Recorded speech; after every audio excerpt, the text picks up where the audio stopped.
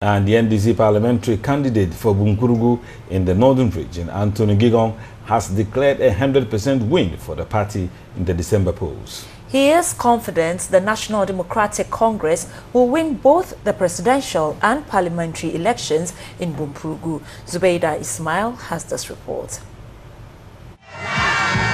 Addressing party supporters at a rally in Bunkpurugu, Anthony Gingon underscored the need for supporters to remain faithful to the National Democratic Congress by retaining President Mahama in power. He says the support given him from electorate is a sign of goodwill and victory. He charged supporters to vote out the incumbent Member of Parliament, Solomon Bois, stating that the new Patriotic Party has no vision for Ghana.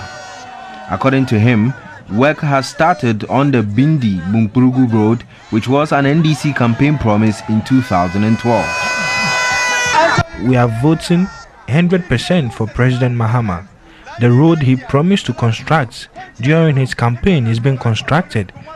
Let's vote for him massively and remember to vote for Anthony Gingon on that day.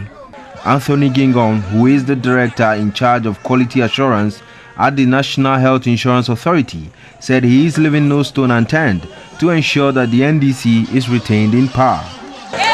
The way you have poured out here today gives me assurance that this seat is a done deal for President Mahama and myself.